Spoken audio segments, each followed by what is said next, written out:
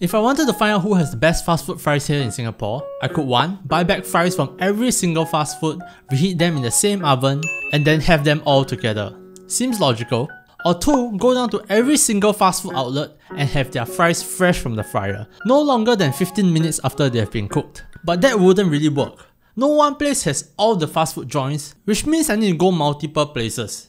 And with the current COVID restrictions, it probably also means that I need to eat the fries where the sun don't shine. And I have to do that for 14 fast foods. I love food, but even for me, that's a little too much.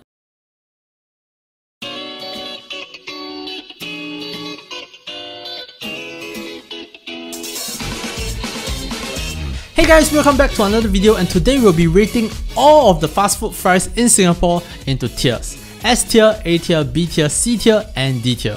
Let's begin with D tiers and taking our first spot today is MOS Burger.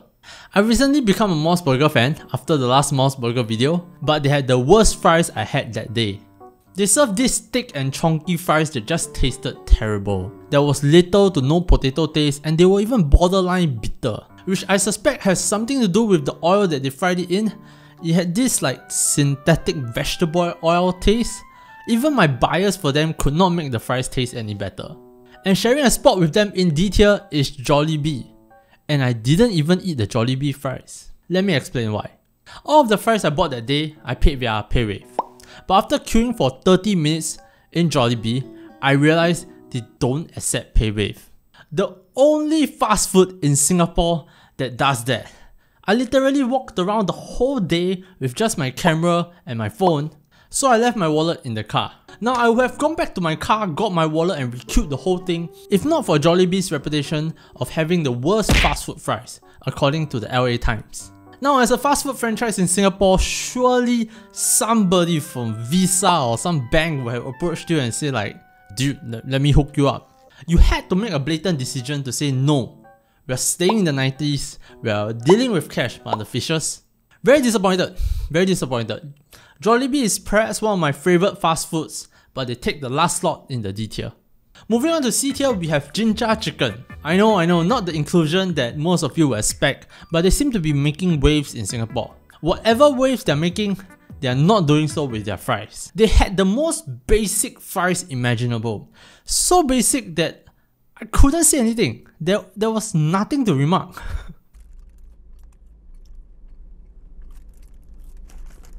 Sharing space on the C tier is Popeyes. Now Popeyes had decent fries. But it might just be because of the fatigue of running around the whole day and Popeyes was one of the last one that I tried that I didn't appreciate it at all. Popeyes doesn't serve regular fries, instead they serve Cajun fries which is fries with a slight batter with Cajun seasoning. To be honest, they probably deserve a higher spot.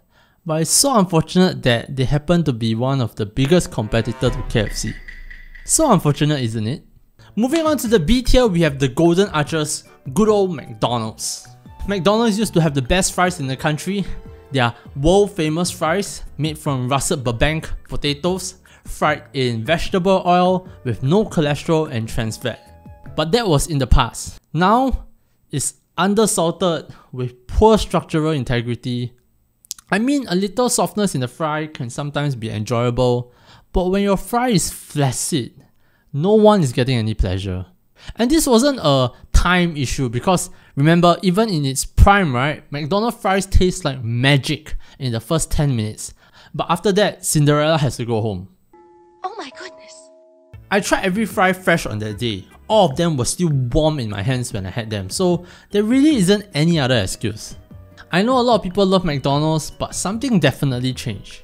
Maybe their recipe changed, maybe the Fire Nation attack, I could not tell you. And sharing the same taste profile was Four Fingers. I was really surprised how similar Four Fingers and McDonald's fries were. Although the fries from Four Fingers was a little more tasty in their seasoning, the similarity make it chuck it into the same tier pretty quickly. Arnold's was also in the B tier. This had some kind of strange smell to it, but was actually pretty tasty. They seem to have been fried in a different kind of oil and almost had like a chickeny taste to them. What really stood out to me however was how hot the fries were. This literally just came out of the fryer. And for some reason they gave me like half a kg of fries. I know it's supposed to be a good thing, but it's like it's like somebody giving you like, you know, bro, have a potato. Last but not least in the B tier is Long John Silver's. I know, I know, everybody loves Long John Silver fries, and it's in the B tier partly because of my fault. I ordered their potato fries because I wanted to standardize, right? But it turns out the fries that they serve with their meals are actually called Cajun fries. I'm not sure if anyone here had their potato fries before, but these are thicker cut fries with a substantial amount of fluff in them. The taste is okay, but nothing compared to their Cajun fries. The Cajun fries I want to say would be an A tier or an S tier, but it will not be fair for me to say since I didn't have them on the same day. And now, we are moving on to the good stuff. The first entry at A tier is Burger King. This really caught me by surprise, I don't remember Burger King being so good. They had a nice crust to it and substantial fluff on the inside, a really really solid fry. Also on the A tier is A&W.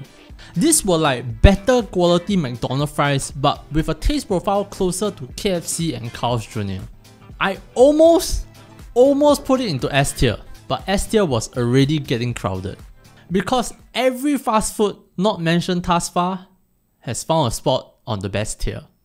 We start off with Five Guys, which isn't fair at all because their fries cost 3 times more than any of the fries listed in this video. What is fair however are the fries from Texas Chicken. These fries were literally scalding me. They were so hot I couldn't pick them up, much like the girls I meet.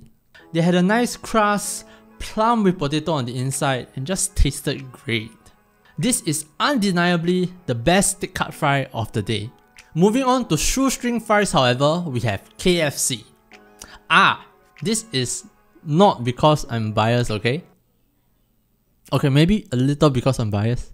But mostly because of the tasty exterior and how it provides a slight crunch that crackles more in your heart than on your palate.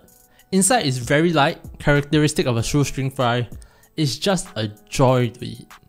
But just when I thought KFC had the best shoestring fry of the day, came Carl's Jr. Carl's Jr. had a similar fry, but just better, crunchier, tastier, with a little bit of potato skin here and there. The difference really stands out when you compare the fry head to head. Putting all the results together, we have something like this. But plot twist, a big part of the enjoyment of fries is when they turn soggy. So I bought all of these fries home and had them in front of a TikTok live stream. Most of them kept their places except for 4 brands. KFC demoted from S tier to A tier. Without its freshness, the fry lost quite a bit of its appeal. Or maybe I wanted to be more objective about things, we'll never know. Popeyes promoted from C tier to A tier. I suspect it was because I was very restless when I had the fry initially that I gave it such a low grade. It could also be that the Cajun seasoning shine brighter when texture is taken out of the equation since all of the fries were soggy, right? Burger King demoted from A tier to C tier. I'm not sure why. They were just not good after a while, even turning a slight bit bitter. And lastly, McDonald's demoted to C tier. And at the bottom of C tier at that. Cold McDonald's fries are just sad. Like I physically feel sad. Although all of the fries were soggy, right? The McDonald's fries were the saddest. After the tweaks, we are looking at something like this, which I think is pretty fair. What do you guys think? Which fast food needs a promotion? Which fast food do you think is overrated? Let me know in the comments. And now we actually get to the main point of the video. The best fast food fry in Singapore is Five Guys. But that isn't fair at all for reasons already stated. So properly, the best thick cut fries, Texas Chicken. The best shoestring fries, Carl's Jr. The best fries overall, KFC. And that's all I have for you guys this time. Be sure to like, comment and subscribe if you've enjoyed today's video. It literally takes you 1.2 seconds to click the buttons below and it will really really help this channel out. Thank you guys so much for watching and I'll see you guys in the next video.